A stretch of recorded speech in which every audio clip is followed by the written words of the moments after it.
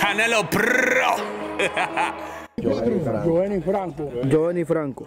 Sí, porque el Alexander es del equipo azul.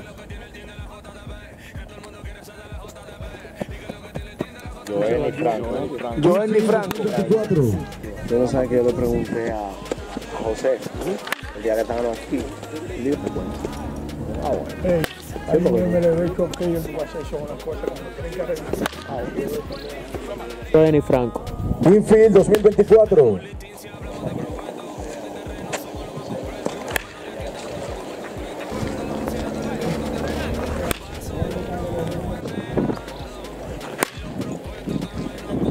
...2024... Giovanni Franco.